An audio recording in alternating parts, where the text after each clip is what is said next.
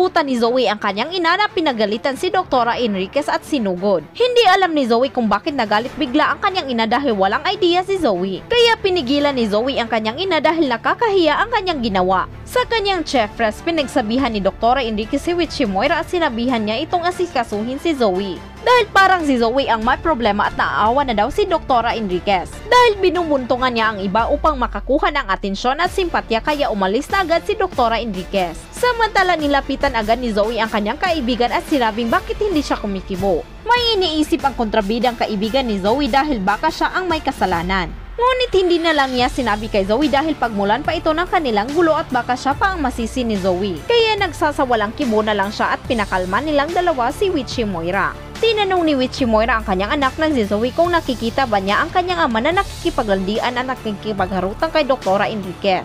Anya ni Zoe na normal lang naman daw siguro na lumapit ang kanilang chefress na si Doktora Enriquez kay Dr. Tanyag.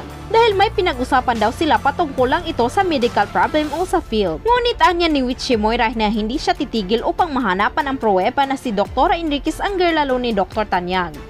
Pati si Zoe ay hindi makapigil sa kanyang mamay Moira dahil kapag galit ito ay agad siyang sumusugod sa kanyang kaaway. Kung feel niyang tama ang kanyang instinct kaya bago pa ma-stress ulit ang ina ni Zoe ay nilibre niya ito ng paborito niyang snack upang kumalma na rin ito at mag-cool down dahil baka may makaaway na naman ito. At dito na po nagtatapos ang ating abot kamay ng pangarap at sa update. Muli maraming salamat sa panonood. Please don't forget to subscribe, like, share, and hit the notification bell para lagi tayong updated.